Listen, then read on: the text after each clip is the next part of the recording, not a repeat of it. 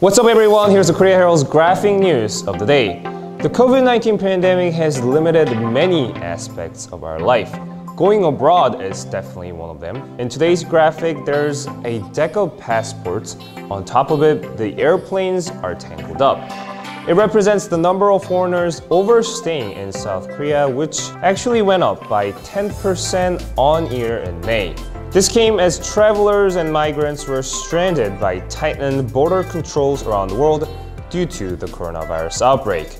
According to Korea Immigration Service, the number of foreigners illegally staying in the country reached an all-time high of almost 397,000 in the month.